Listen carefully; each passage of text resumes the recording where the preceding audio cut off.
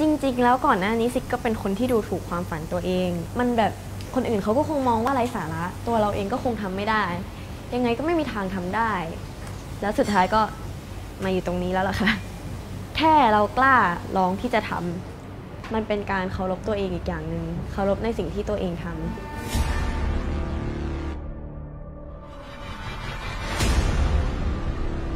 จริง ๆ ก็อยากเป็นไอดอลมาตั้งแต่เด็กแล้วค่ะ แล้วก็คือจะชอบเอาผ้าห่มอะมาทำเป็นชุดยาวๆยาวๆอย่างเงี้ยแล้วก็เต้นแล้วก็ร้องเพลงบ้าง คือจริง ๆ แล้วอะสิจะไม่บอกแม่ด้วยซ้ำตอนสมัคร แต่ว่าพอเลื่อนลงมาปุ๊บอะในใบสมัครดันบอกว่าให้มีการอนุมัติจากผู้ปกครอง ก็เลยต้องเดินไปบอกแม่ แม่จ๋าอยากเป็นไอดอลอะ แม่ก็เออก็เอาสิงงมากเลย อยู่ๆแม่ก็ให้ด้วยก็อะแม่บอกเอาก็เอาโอเค จริง ๆคำว่าไอดอลในนิยามของแต่ละคนก็จะไม่เหมือนกันใช่ไหมล่ะคะ แต่ในความรู้สึกของสิกคือเป็นตัวอย่างของสังคม ของสิกเองก็อาจจะไม่ได้เป็นไอดอลในด้านการเรียน แต่สิกเป็นไอดอลในด้านการที่เรา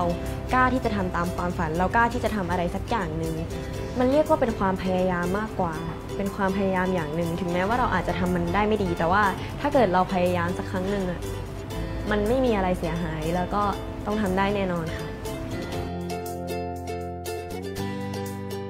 มันเป็นการเปิดโอกาสให้เราได้ลองอะไรหลาย ๆ อย่าง บางทีความถนัดของแต่ละคนจะแตกต่างกันไป เพราะงั้นการที่สิกได้ลองมาทำสิ่งนี้ก็ทำให้สิกรู้ตัวว่า สิ่งที่เราชอบอะอาจจะไม่ใช่วิทย์คณิต แต่ว่ามันคือการลงมือทำเลยจริง ๆ ที่เราได้รู้ว่าอะไรคืออะไร และการทำงานในชีวิตจริงเป็นแบบไหน ก็ดีที่เราได้ลองอะไรหลาย ๆ อย่างค่ะ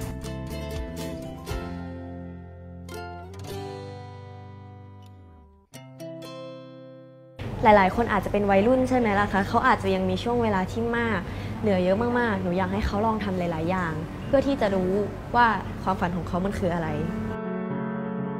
บางทีความฝันของเขามันอาจจะแตกต่างก็ได้ใช่ไหมล่ะทำไปเถอะความแปลกยากเป็นสิ่งที่ดี เพราะว่ามันทำให้เกิดความแปลกใหม่ในโลกใบนี้ มันทำให้เราเห็นถึงมุมมองใหม่ ๆ บางทีอาจจะมีคนคิดกับเราอยู่ส่วนไหนสักแห่งในบนโลกใบนี้ก็ได้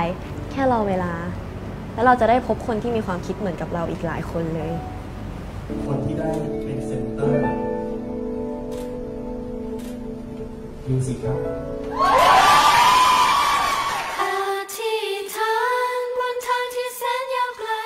คิดว่าตอนที่เราทำตามความฝันยังยังค่ะ คือถึงแม้เราจะทำไปแล้ว แต่ว่าความฝันของสิกมันมีมากกว่านั้น อย่าหยุดที่จะฝัน เราทำได้มันได้ก็จริงแต่มันไม่ได้จบลงแค่นี้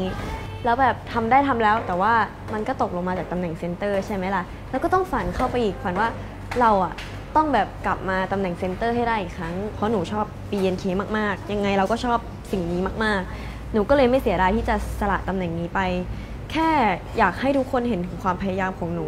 หนูก็ยินดีนะคะ ถ้าเกิดจะให้หนูทำสิ่งนี้ต่อไป ก็มีความสุข บินไปไกลแค่ไหน เพียงใดก็ไม่สำคัญกว่า ที่ไหนมา ปล่อยใจไป ปล่อยใจฝัน ปล่อยใจ